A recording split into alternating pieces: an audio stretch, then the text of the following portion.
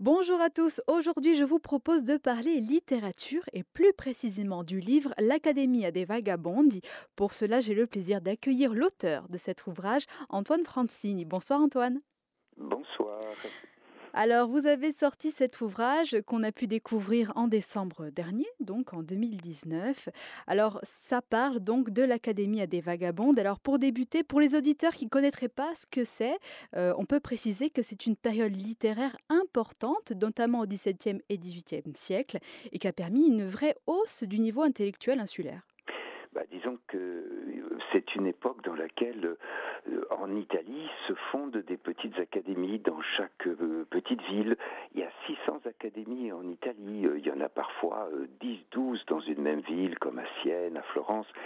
Et bon, à Bastia, du coup, c'est fondé au milieu du XVIIe siècle. Si vous voulez, c'est une réunion d'amis lettrés, mais c'est sous une forme un peu formalisée, avec des statuts, des, réunions régulières, etc. Voilà le, l'orientation des choses. Voilà, c'est comme un, ça, porte le nom d'ailleurs académie, hein, tout simplement. Euh, on peut interpréter ça comme un club aussi, mais comme c'est littéraire, effectivement, académie, ça s'y prête mieux.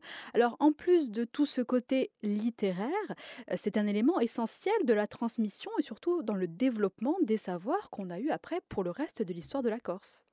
Oui, c'est un moment, évidemment, il y a le moment médiéval qui est très intéressant, très important, mais là, on rentre dans cette période euh, moderne, comme on dit, euh, et ça prépare finalement euh, le XVIIIe siècle corse, le XVIIIe siècle paolin, mais assez paradoxalement, l'académie qui est très bastiaise côtoie tout un monde de lettrés corse dans les villages, dans, même à l'extérieur de l'île, que j'essaye aussi de décrire, et qui sont en quelque sorte l'envers de, cette académie bastiaise, une, euh, beaucoup plus formée par des, prêtres, et ça va plutôt donner justement euh, le fond littéraire de, euh, des, justifications mhm. paulines. Voyez, donc c'est il y a cette problématique dans, dans, le, dans ce livre. Alors c'est une période qui se fait en deux parties, puisqu'elle a eu deux époques, si je peux dire ça comme ça.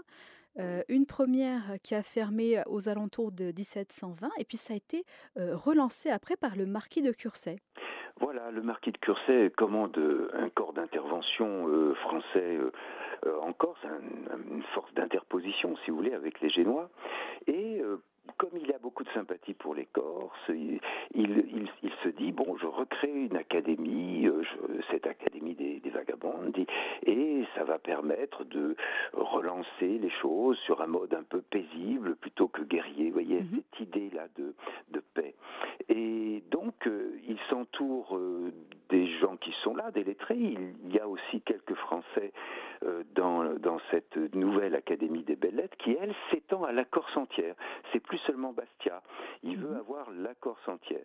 Et ce qui, se, ce qui va se passer pendant les 3-4 ans de, de, de, la vie de cette académie, c'est que les gazettes européennes, qui s'intéressent beaucoup à ça, vont euh, publier des, des, séances entières euh, ou des morceaux de séances.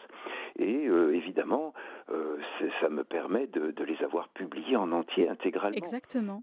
Voilà avec les sonnets aussi, parce qu'il fallait tout publier, quoi. Quand si on faisait une étude là-dessus, on publie le bon et le mauvais. Enfin, c'est un peu le, la, la, méthode. Et oui, et puis c'est bien d'avoir accès à ces sources aussi, parce qu'il y avait déjà des sources connues hein, sur ce sujet, mais dans le cadre de votre ouvrage, vous avez réussi à trouver de nouveaux documents et de nouvelles sources qui vous ont aidé à élargir eh bien, les connaissances euh, sur cette période littéraire. Oui, beaucoup, oui, oui, en effet, en effet. Euh, ça, je dois dire qu'on est très aidé euh, par le web aujourd'hui, parce que d'une part, ça permet d'avoir accès à des sources lointaines, et puis aussi de s'orienter parfois et de, ensuite de pouvoir aller dans des bibliothèques chercher euh, des, des, choses tout à fait introuvables. Il y a une rupture au niveau de, des méthodes des historiens qui, qui est avec le web, c'est incontestable. Évidemment, il ne s'agit pas de ramasser n'importe quoi sur le web. Oui, il y a un tri à faire. On l'utilise, on utilise c'est un outil merveilleux. Et eh oui. Alors vous avez fait déjà d'autres ouvrages, notamment sur la politique ou la révolution en Corse au XVIIIe siècle. Euh, cette fois-ci, on parle un peu plus de littérature avec cette académie. Néanmoins, je suppose que vous y trouvez aussi un fort impact politique. Oui, l'avantage, effectivement, c'est que cette histoire littéraire est aussi une histoire sociale et donc une histoire politique. On voit les liens entre, par exemple, les, les lettrés bastiais et les génois, et puis ensuite, au contraire, l'opposition entre les académiciens corses et les génois. On voit les orientations euh, vers la France ou pas. Enfin, c'est effectivement euh, une manière de s'approcher beaucoup de l'histoire de la société corse, évidemment, à travers ça. Exactement.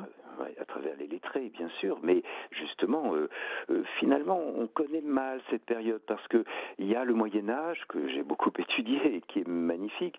Il y a la période pauline, mais un peu entre les deux, c'est la période des Génois. Alors on laisse un peu tomber, et puis du coup, connaît moins. Et d'ailleurs, il va falloir éditer des, des, textes magnifiques qu'on redécouvre actuellement et de, de, de, de, certains académiciens, de Francesco Canari en particulier, un, manuscrit que j'ai redécouvert à Nancy, il va falloir éditer ça et le traduire. C'est une nouvelle richesse pour le patrimoine eh insulaire. En tout cas, euh, chers auditeurs, je vous conseille ce livre parce que moi, je ne connaissais pas du tout cette période et j'ai appris plein de choses. Euh, donc, je rappelle le titre L'Académie à des vagabondes. Il s'est écrit donc par Antoine Francine. Merci énormément d'avoir été avec nous pour nous parler de cet ouvrage. C'est paru donc aux, aux éditions pardon, Albiane et on invite donc tous les auditeurs à se le procurer. Vraiment un très beau livre. C'est moi qui vous remercie. Merci beaucoup et bonne soirée à tous.